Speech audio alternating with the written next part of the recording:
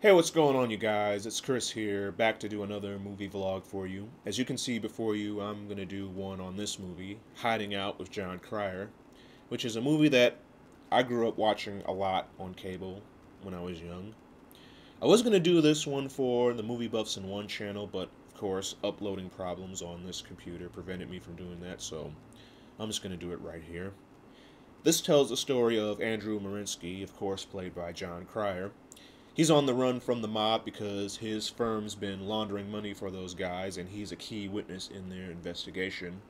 Uh, people in his firm keep getting killed, and he's next on the list, so he goes on the run, hides out, changes his whole appearance and hides out with his cousin, played by John Keith Coogan, uh, who, of course, you know from Adventures in Babysitting, which is another great 80s movie.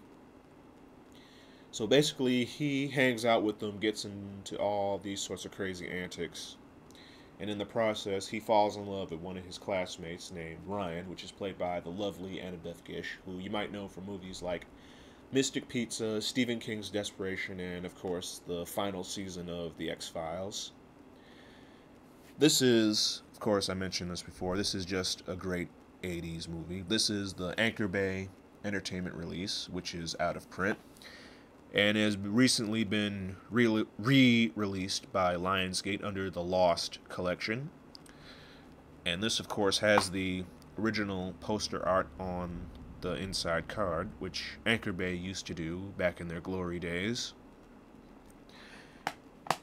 And I also own the original HBO video from 1988. I believe it was released on video. Um, kind of the same cover art, but they're both cool. Here's the back. Nice little picture of Jon and Annabeth. Now, of course, his pre changing. Yeah, miss VHS, miss the old days, but yeah. You should definitely try and check this out. This is one of the better flicks from the 80s. Great music, great story, great humor. Go check it out. And here's a movie that I got last week. Of course, most of you might know about this already and that is Avatar, the latest from James Cameron, who, of course, you know the man and you know the movies Terminator 1 and 2, Titanic, uh, The Abyss, Aliens. The dude's a legend in the Hollywood business, so.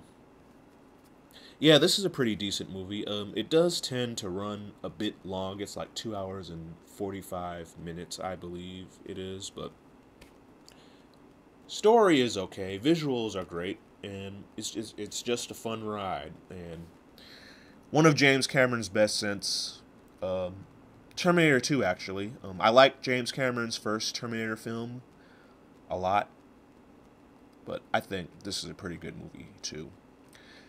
This is of course the bare bones edition, which has a pretty cool slipcover, and you can make damn sure they're gonna milk this for all it's worth because this release doesn't have any features but I'm happy with this one. Any behind the scenes stuff that I want to check out, I can find it on YouTube. So, yeah, I'm happy with this release. They're going to try and milk it for all it's worth. And you know what? It's whatever, fine. I could give a shit. But I'm happy with the release I have. I mean, I like the movie, but not enough to at least shell out another 20 bucks for like a two disc or a three disc super ultimate edition or whatever. But it's a pretty decent movie. Go check it out if you're into it. James Cameron's Avatar. And that's it for my little movie vlog. Thank you guys for watching. Rate, comment, or subscribe. And I'll catch you guys on my next vlog. Later.